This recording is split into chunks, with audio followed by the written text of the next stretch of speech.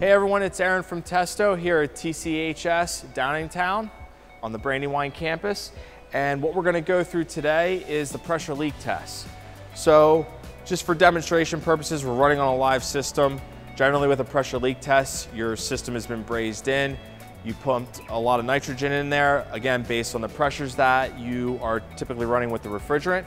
Uh, so going to simulate how the pressure leak test works with the device. So what we're gonna go is we're gonna go back into our menu.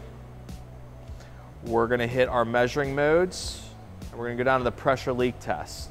Now the pressure leak test does allow for temperature compensation, so you can use smart probes, whether you have a 905i, a 115i, or the new 915i thermocouple type K smart probe you have the ability to use that as well too to get your temperature compensation.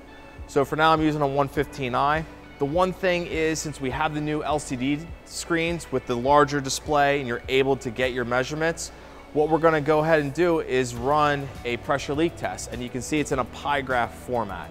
So what I'm gonna go ahead here is I'm gonna start and when you start you're gonna have your current pressure and your start pressure. And there's also the timer up top as well too. So whatever you feel comfortable running, whether it's uh, all night, all day, 10 hours, five hours, you have that flexibility. That is your decision to make. But what we are giving you from Testo is a graphical display. So what we're gonna do now is let this run for a little bit and I'm gonna show you how the, the display adjusts with the pie.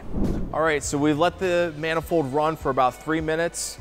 And what I wanted to demonstrate is exactly what does the final result look like. So again, these time limits are strictly up to you.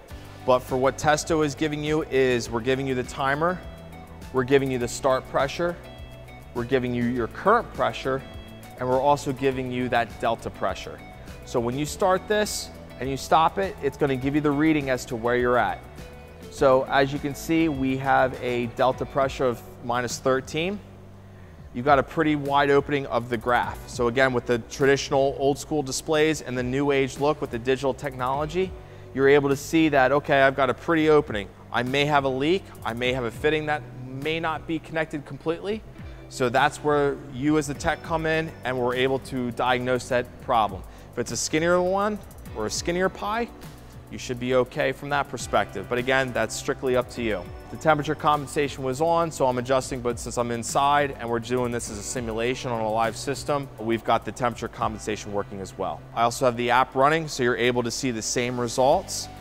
You're able to see everything, your start and your delta, as well as the sweeping gauges and where it start from a little green line. You can also pull up the graphics to see if there was any dips or it went back up with the temperature compensation and same with the table view. Again, same thing, I can create a report out of this, save it to my current customer, and create that log file for that customer. Special thank you today to TCHS Brandywine in Downingtown Pennsylvania for allowing us to use their HVAC lab. And for more information on more Testo products, visit us at www.testo.com.